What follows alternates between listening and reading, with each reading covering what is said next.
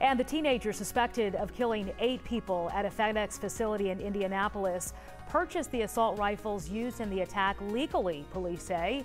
This despite the state's red flag gun laws.